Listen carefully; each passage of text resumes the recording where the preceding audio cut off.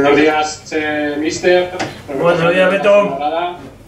Bueno, lo primero de todo, eh, antes incluso de hablar del partido, lo que quiero preguntarte es cómo estamos, porque jugamos el jueves, volvimos ayer por la mañana en avión, prácticamente no habéis tenido tiempo ni, para descansar. Antes de incluso hablar del partido, ¿cómo, ¿cómo estáis? ¿Cómo está el equipo?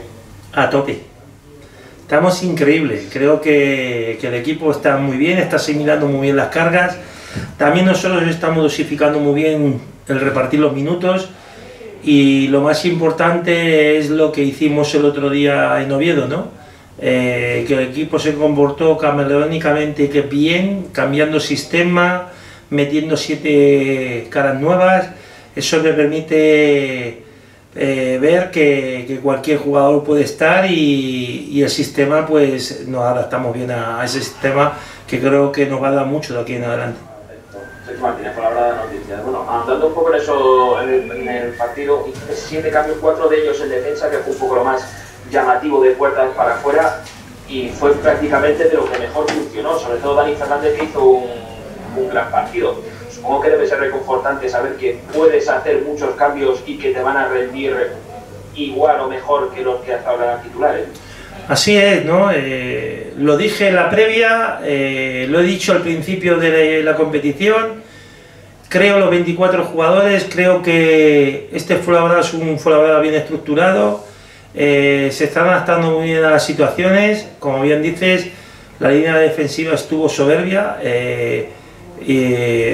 concedimos muy poquito al Oviedo, aunque por decir algo yo soy muy inconformista y prácticamente creo que podíamos haber sacado algo más, pero muy orgulloso de, sobre todo, de la predisposición de los jugadores en tan poquito tiempo y adaptarse a un nuevo sistema de juego e interpretarlo también dentro del terreno de juego. Esos cambios que hiciste de meter siete jugadores nuevos en relación al partido de Numancia, ¿tenían también un poco que ver pensando en el partido de, mañana contra el Extremadura en casa?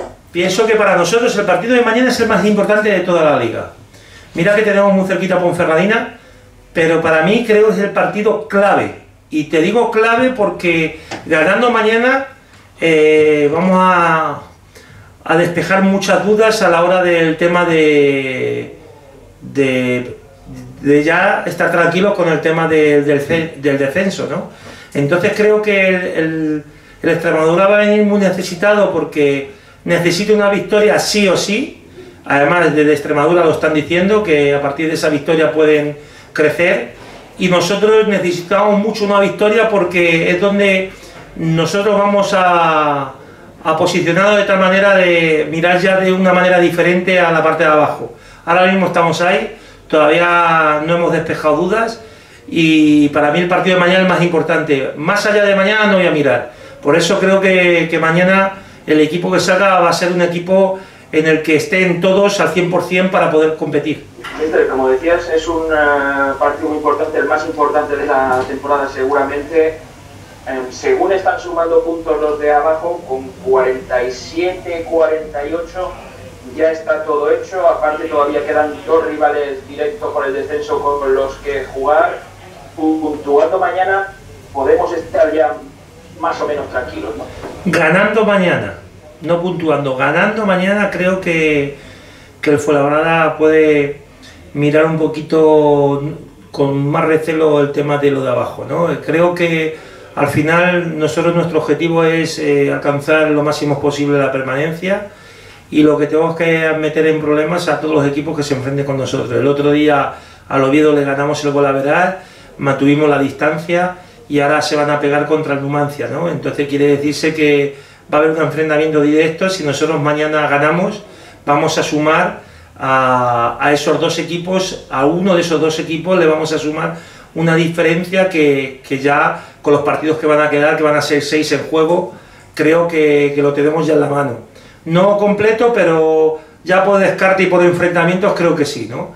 Por eso para mí es muy importante el partido de mañana. No veo más allá que el partido de mañana y los jugadores que vamos a disponer de ellos porque van a estar al 100% y pueden repetir mucho esfuerzo, porque va a ser un partido duro, un partido en el que yo veo una Extremadura eh, que no ha tenido suerte de cara a gol, pero que ha hecho muchas cosas bien, que tiene muchas llegadas al área, que es un equipo muy sólido, que, su entrenador eh, le mete mucha mentalidad positiva y que lo único que le ha faltado a la Extremadura ha sido el resultado. Creo que ha habido partidos que han merecido mucho más de lo que ha ganado y tenemos que ser muy humildes y enfrentarnos a la Extremadura de una manera como lo hemos hecho contra el Tenerife y el Numancia en nuestra casa.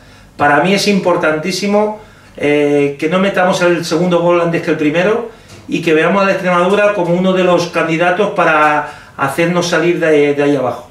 Hola, mister. Como has dicho, recibimos a una Extremadura que necesita ganar, pero bueno, tú sabes lo que es salvar un equipo en una situación así complicada, entonces sabes el peligro que entraña en esa situación, confiarse sería un error, ¿no? No, no, eh, hoy he tenido una charla larga con los jugadores para mentalizarlos que el Extremadura va a venir con una mentalidad ganadora, que nos vamos a enfrentar a un equipo súper motivado, que no hay peor cosa que, tener a un equipo arrinconado y solo tiene huida hacia adelante, que no va a especular nada, que va a hacer un partido muy largo, que es, un equipo muy competitivo y que es muy parejo a todo lo que nosotros estamos haciendo de aquí eh, al empiece de este confinamiento que hemos tenido y que está contando con casi todos los jugadores y llevan dos días eh, más de descanso. Entonces, a mí, pues esos dos días más de descanso no es por el tema de preparación de partido, pero sí por acumular minutos. Eh, puede repetir otra vez equipo y su equipo de gala es un equipo con mucha calidad. Mister, dos cuestiones. Una, mirando un poco hacia nosotros, hacia eh, cómo, cómo, estamos nosotros. El otro día, después del partido, hiciste eh, un poco de hincapié en el, el, tema de que hemos jugado cuatro partidos, solamente nos ha metido un gol y fue de penalti. Eh, con lo cual eso significa, significa mucho de ese entramado defensivo con el que estáis trabajando para sacar los partidos adelante. Evidentemente, de cara al partido, solo a decir que, que es, eh, incluso si me apuras, un poco más importante por estar en casa y en tu rival directo. Y luego la otra pregunta que ya creo, evidentemente, hablar de, de, cómo están los chicos en cuanto a bajas. Tenemos la baja de Patricisca y la tarjeta amarilla. Iván Salvador, a ver cómo, cómo estáis recuperados en la baja. ¿El resto? ¿Tenéis alguna duda, alguna baja? No, eh, incluso Iván Salvador eh, va a ir convocado eh, por si tiene buenas sensaciones, como mucho, pues, esto como poco, contar con él, que no, pues no vamos a forzarle, pero mañana va convocado porque ha pegado un cambio brutal a mejor en estos días. El médico tiene mucha esperanza de que vuelva antes de lo previsto. Eh, si no le vemos en condiciones y, y, vemos que va a ser mucho forzar, no lo llevaremos, pero quiero que tenga una mentalidad que, que ya está, que ya está cerca, que eh, hay que motivarle de esa manera, ¿no? que no se vea fuera del grupo. La única baja que vamos a tener la de Patecis por acumulación de tarjetas. Creo que ahora mismo el equipo, si algo tiene de éxito, es que nosotros muscularmente los jugadores están muy bien, que el estar así es la consecuencia de haber trabajado muy bien en el confinamiento y haber asimilado muy bien y despacio la carga de trabajo que hemos tenido y ahora el repartir minutos eso nos va a permitir más adelante poder contar con todos.